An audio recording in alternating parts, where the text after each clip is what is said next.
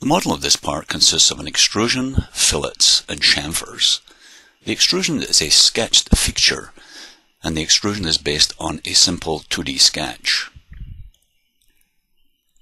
The sketch consists of a profile and two circles. In this particular sketch, no dimensions are applied. Let's look at how we can create a sketch and apply both geometric and dimensional constraints. Start by creating a new part file. Then use the draw tools. These consist of line, rectangle, circle, arc, and there are many more. We'll start with the line command.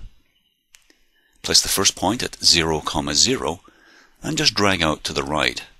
We're not going to input the value, but instead just sketch the profile to the approximate size. Notice that geometric constraints are being applied in this case parallel and tangent. And again we see the tangent constraint being applied. Now the circle command will be used. Two circles will be placed and again the size isn't critical at this point. Having created the sketch, geometric constraints can be applied. There are 12 geometric constraints we're going to start by applying an equals constraint.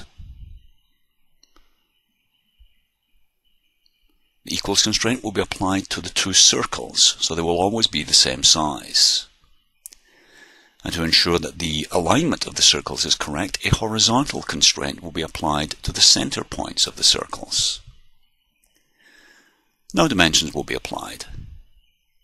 Notice in the bottom right corner, three dimensions are required or needed to fully constrain the sketch. Place the dimension, and the overall length is 1.5. The radius of the arc, and that radius is 0.25. Now only one dimension is needed to fully constrain the sketch, and that's the diameter of the circle. But instead of putting a value in, we'll tie together these two values, so the parameter d1 for the radius of the arc will be used. Now the sketch is fully constrained. Since the sketch is fully constrained, you cannot drag the profile to a new location.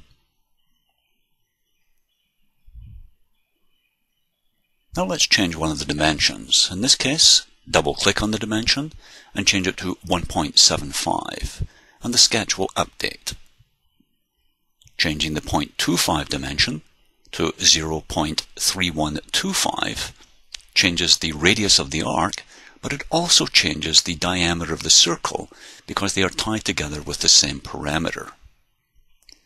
This profile would then be used to start to create the link. It would be the extruded feature.